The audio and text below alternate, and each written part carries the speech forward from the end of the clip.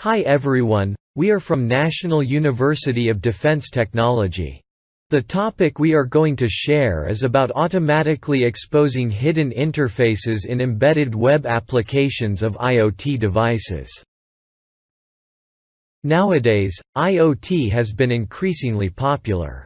As this chart shows, IoT technology reached $100 billion in market size for the first time in 2017 and forecasts suggest that this figure will grow to around 1.6 trillion by 2025. With the wide adoption of IoT devices, in fact, embedded web applications play an essential role in managing those devices. Here is an example. For a smart home IoT system, users can configure devices or read data of sensors from this web-based dashboard. At the same time, unfortunately, more and more attack incidents indicate that the security of IoT has become a big concern.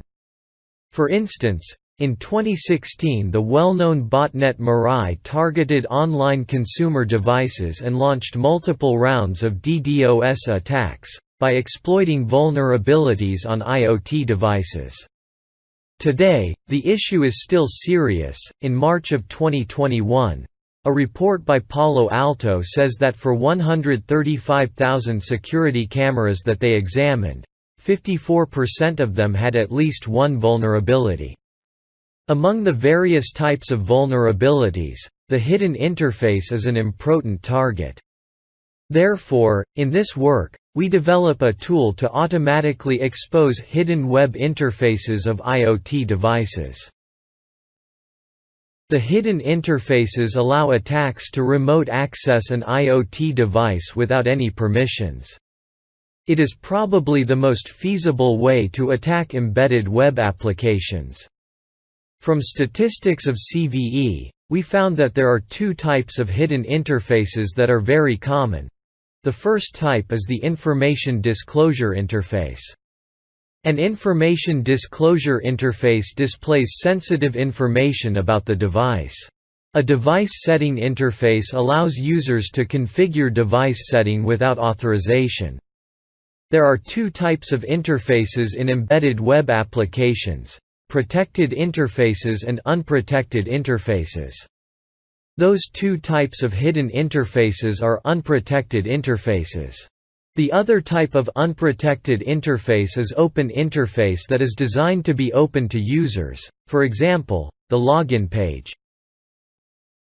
A line of previous research focus on vulnerability detection of IoT devices. They target memory corruptions, taint-style vulnerabilities and other domain-specific vulnerabilities. The other line of research focus on the broken authorization problem but the target programs are not web of IoT devices. They focus on cloud backends. To the best of our knowledge, this is the first work that focus on exposing broken authorization problems in the web of IoT devices. Here is an overview of the tool IoT scope. The input is a firmware image. There are four modules in the tool. Interface enumeration, probing request delivery, identification of unprotected interfaces and identification of hidden interfaces. The tool interacts with a physical device or firmware in an emulator. The tool's output are two types of hidden interfaces that we mentioned. Implementing the design is not straightforward. We encountered several challenges. The first challenge is how to enumerate all possible interfaces, given that the web interfaces reside in various locations with different forms in the firmware image. The second challenge is how to identify unprotected interfaces from all interfaces.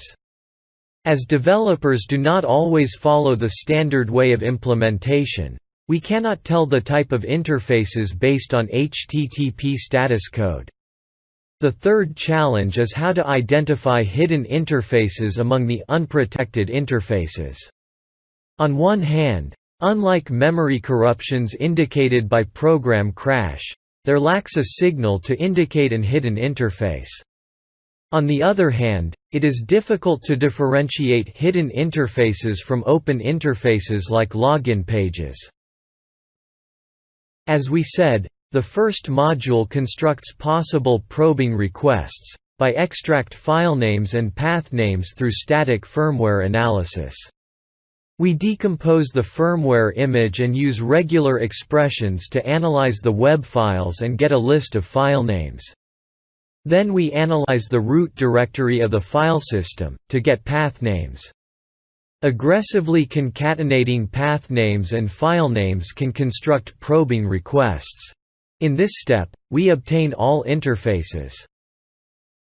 IoT Scope sends each probing request twice. The first request carries a certificate in the authenticated HTTP head, while the second request does not carry a certificate. We collect the twin responses for further process. We filter out the protect interfaces, if there are some difference observed in the twin responses. To further filter out invalid probing requests, we cluster the remaining responses into different groups based on the content of response body. The responses of invalid requests are the majority and can be clustered into several groups, corresponding to the several errors handling cases in the web server. The outliers are unprotected interfaces, namely open interfaces and hidden interfaces. In the set of unprotected interfaces, we identify the two types of hidden interface. For device setting interface, we first extract parameters from the code of the front end in firmware. Then we send out the twin requests, one with the parameters and the other without the parameters, and observe if there is any difference in the responses.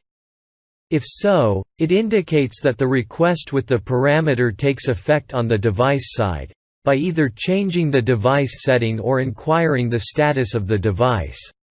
To identify information disclosure interfaces, we build a dictionary of keywords and match the content of the interfaces with the keywords in our dictionary. The keywords come from two sources, NVRAM parameters and configuration files. At last we match the page content with the keywords. When at least two keywords are matched in the dictionary, IoT Scope reports it as an information disclosure interface. We implemented a prototype and use 17 devices to evaluate the tool. They come from 11 well-known vendors, with latest firmware. Device types include cameras, video recorders, GPON modems, powerline adapters, 4G routers, firewall router, etc. We compared this tool with Firmadyne. To our surprise, it identified 44 vulnerabilities, 43 of them were previously unknown. We got 8 CVE IDs after responsible disclosure. In terms of the statistics of requests and responses, on average, IoT Scope extracts 117 paths and 326 files from each firmware, producing 62,357 URLs as probing requests. We set different similarity thresholds in clustering. The larger the threshold, the more clusters produced, which produces false positive. Luckily, as we tested, when threshold is larger than 0.4, FP of this step can be eliminated in the step of hidden interface identification. 20 device setting interfaces and 48 information disclosure interfaces were reported by this tool. In the end, we manually confirmed that there were 10 device setting interfaces and 34 information disclosure interfaces. Regarding performance, as can be seen, on average, it takes 2,848 seconds which is 47 minutes, to test a device. Interaction with the device consumes most of the time.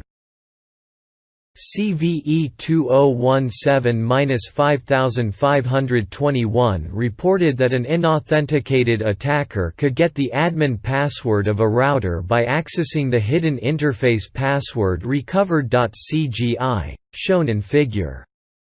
This vulnerability affected 13 Netgear device models.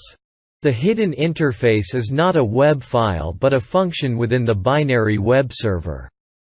IoT Scope discovered this vulnerability as it extracts strings inside binary web servers to generate probing requests. The matched keywords are admin, username, and password.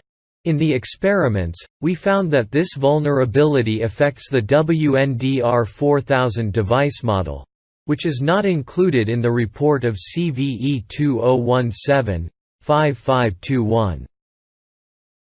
We reported minus 2019 CVE minus 17,512, a vulnerability affecting DIR 412 router of D-Link.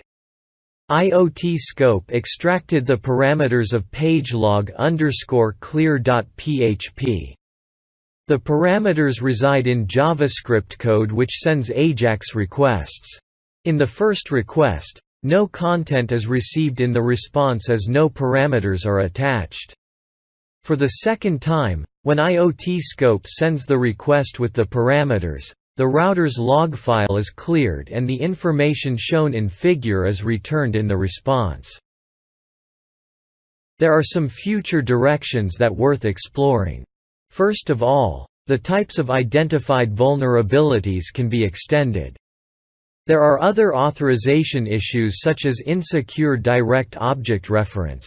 Second, the manual verification procedures can be improved with automated techniques. For instance, leveraging sentiment analysis to determine whether a page is sensitive or involves device setting operations. Thank you for your listening. This project is available at the following address. And if you are interested in this work, you can connect with the author or corresponding author. Email addresses are listed below.